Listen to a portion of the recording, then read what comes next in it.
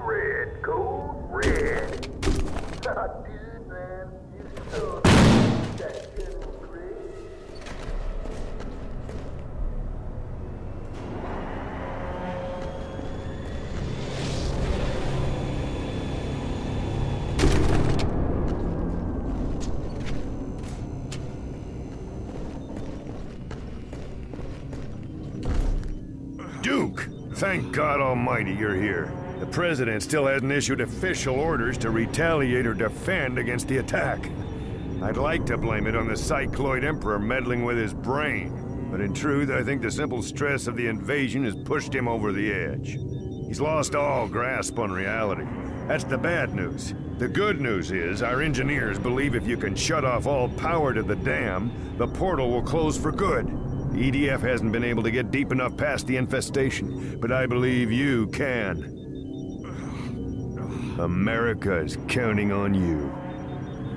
America, fuck yeah!